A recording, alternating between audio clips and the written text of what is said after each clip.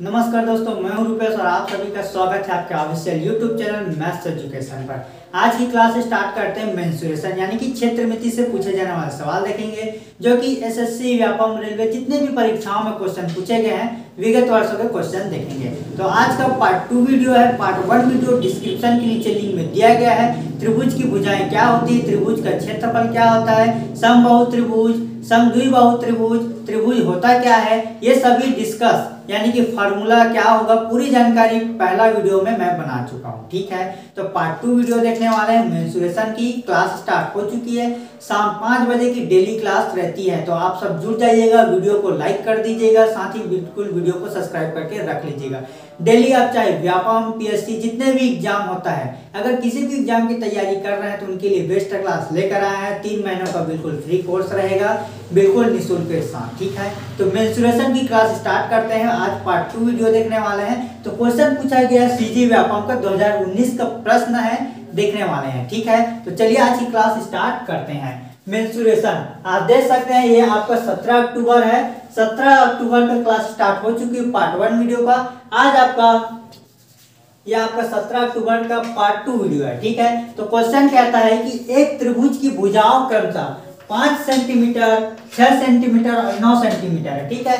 एक त्रिभुज है, मान लीजिए एक त्रिभुज है, ठीक है? यहाँ पर एक त्रिभुज बना लेते हैं। तो एक त्रिभुज की भुजाएँ क्रमशः पाँच सेंटीमीटर छह सेंटीमीटर नौ सेंटीमीटर है। तो ये पाँच सेंटीमीटर, छह सेंटीमीटर और नौ सेंटीमीटर है, यानी कि ए बी सी ये तीनों भुजाओं का योग कितना होता है? त्रिभुज के तीनों भुजाओं का योग एक सौ अस्सी अंश होता है। तो सबसे पहले देखिए, ये आपका ऊंचाई हो गया, ठीक है?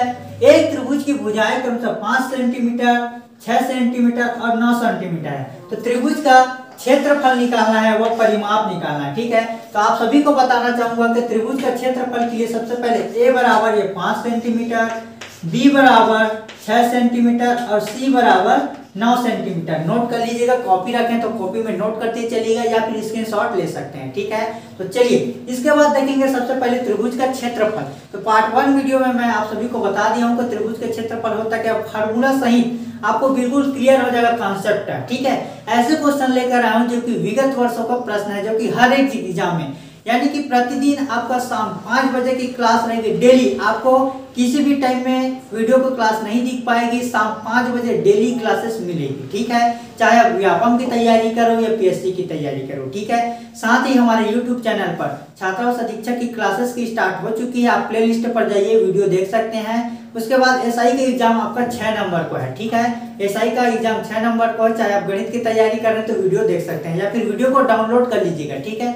या फिर परीक्षा में जाने से पहले एक बार वीडियो को डाउनलोड कर लीजिएगा वीडियो को एक बार देख सकते हैं, ठीक है? तो चलिए, सबसे पहले क्षेत्रफल होता क्या है? तो क्षेत्रफल के लिए आप सभी को मैं फार्मूला बताया था, ठीक है? तो क्षेत्रफल का फार्मूला होता क्या है? S S minus A S minus B S minus C तो सबसे पहले इसके लिए हम आधार निकालेंगे तो आधार के लिए क्या होता है? आप मैं पहले बता चुका हूँ एस बराबर A plus B plus C by two तो सबसे पहले एस का मान निकाल लेते हैं, फिर इसमें हम फार्मूला में रखेंगे, ठीक है? तो एस का मान निकालने से पहले एस का मान हम निकाल लेते हैं, पाँच प्लस नौ प्लस छ बटा दो. तो सबसे पहले इन दोनों को जोड़ेंगे तो क्या हो जाएगा? छः, पाँच, ग्यारह ग्यारह और नौ, बीस. यानी आपका बीस बटा दो, इसको कैंसल कर देंगे तो आपका दस, ठीक है? तो एस का मान कितना आ चुका है यहाँ पर? दस आ चुका है। एस का मान कितना? है दस। तो ये वाला मान में हम रखेंगे। एस का मान कितना आ चुका है? दस, ठीक है?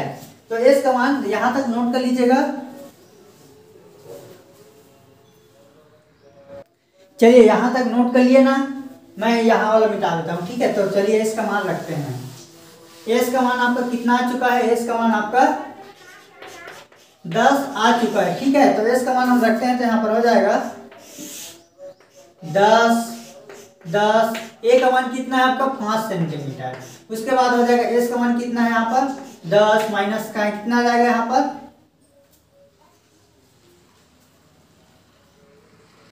यहाँ तक मान रख लिए क्या? बी का मान कितना है? बी का मान छह है। उसी प्रकार दस माइनस नौ। ठीक है, यहाँ तक नोट कर लिए। अब चलिए, इसको सॉल्व करते हैं।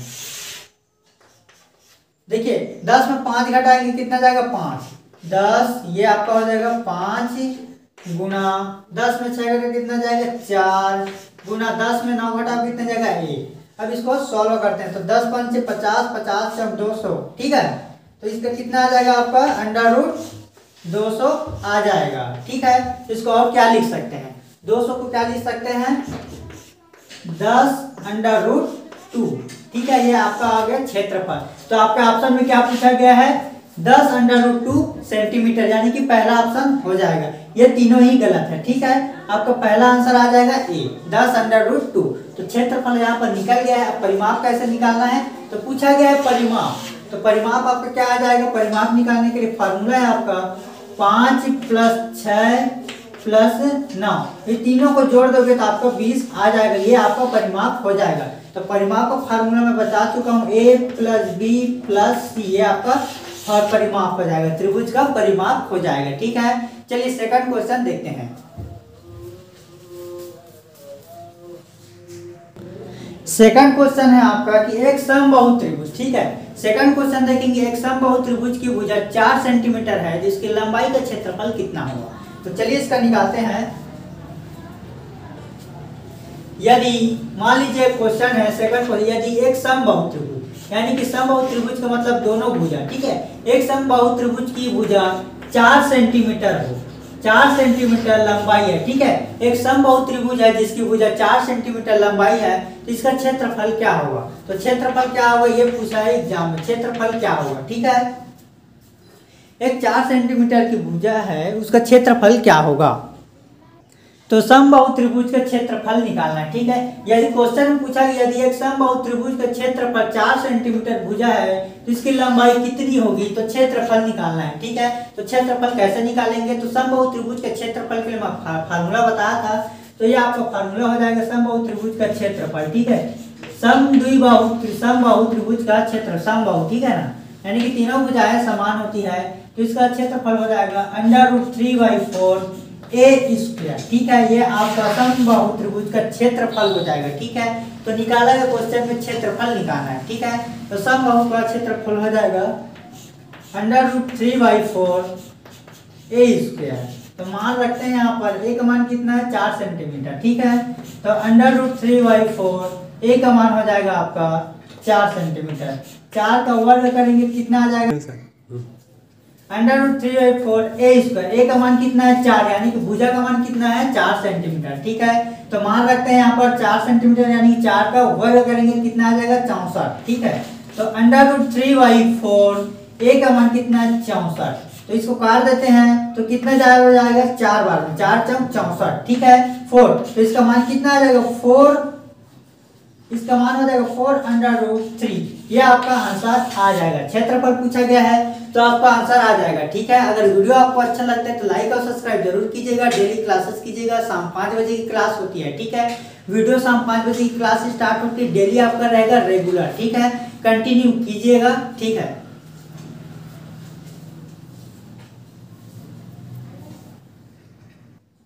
पार्ट थ्री वीडियो में आपका ऐसा क्वेश्चन लेकर आएँगे, जो कि पीएससी व्यापक में पूछे गए हैं। चाहे आपके एग्ज़ाम में आने की संभावना बिल्कुल 90 परसेंट बनेगी, ठीक है? जो लोग तैयारी करना चाहते हैं तो एक बार वीडियो में कमेंट कर दीजिएगा कि, सर, हम आज से क्लास जुड़ चुके हैं और वीडियो को सब्सक्राइब भी कर चुके हैं। ठीक है? देखिए, आप सभी को एक बात और बताऊँगा कि जो लोग वीडियो को सब्सक्राइब करें, उसी को सिर्फ़ आज से नोटिफिकेशन भेजा जाएगा, ठीक है? तो जो लोग जुड़ चुके हैं तो जुड़ जाइए यहाँ पर। सब्सक्राइब करके रख लीजिएगा, ठीक है? बेल आइकन घंटे को ऑल पर सेट कर लीजिएगा। Thank you.